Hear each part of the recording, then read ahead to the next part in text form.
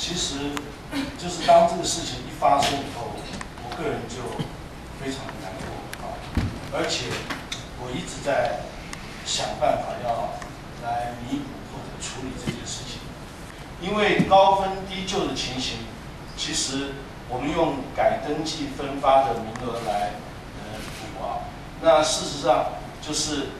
在前面几个学校，第一个它没有高分低就的情形。第二个就是我们当初就是就是呃各学校没有报到的名额出缺的也很少。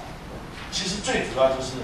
关键还是我们针对高分低就，那前面几个学校其实没有高分低就的情形，他们当初并没有提供一些错误的资讯，譬如像建中北一女当初他提供的就是门槛是三百八十分，所以。呃，这些学校没有错，就是开放的名额非常有限，呃，所以而且我们现在要就是登记的门槛是每个学校的录取分数，因为到底谁是自愿进到你社区的学校，分数比较高，或者谁是真正当初因为资讯错误误判啊，造成高分低就情形，这个很难来判定。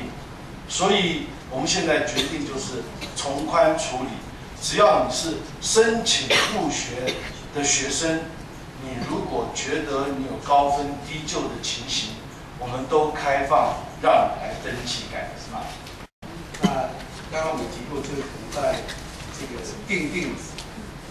申请入学的门槛，或者是在分发的这个部分，有一些考量不可控的因素啊。跟考量的方面，这个不是很周全啊。那这个因为第一次连测啊，所以在整个参照的方面就比较没有办法那么准确啊。那这个是确实是如此啊，也是需要去做检讨来改善。那么至于说北美基连测是否续办的问题，我想我们是协调的结果，我们是希望能够继续续续办。